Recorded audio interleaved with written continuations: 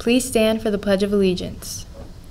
I pledge allegiance to the flag of the United States of America and to the republic for which it stands, one nation, under God, indivisible, with liberty and justice for all. Good morning, PHS. I'm Dylan, and this is Stateliner TV. Today is Wednesday, May 19th, and an all-meet day on the schedule. Would you like to honor a veteran for Memorial Day?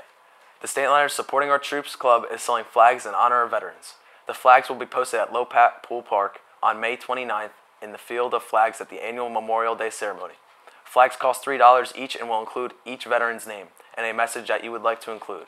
If you're interested in honoring a veteran, please see Miss Miller in room 137 for an order form or join our Google Classroom with the code HNP2E6.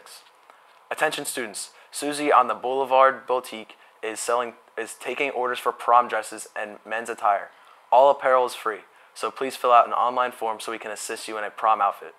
The code for the classroom is to access the form is FWOTQW4. Once you join the classroom, you can see some pictures of prom wear. If you have any questions, please email Miss Vanek or Miss Elling. Meditation groups meet every Tuesday at 1:20 p.m. Please go to the SBYS PHS Google Classroom for the code. If you have any questions, please contact Mrs. Jones in SBYS.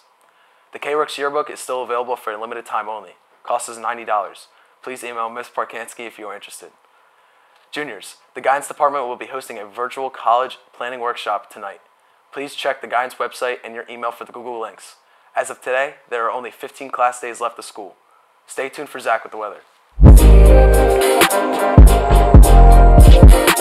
Today's weather sunny with the high of 88 and a low of 58. That's all we have. Have a great day, PHS.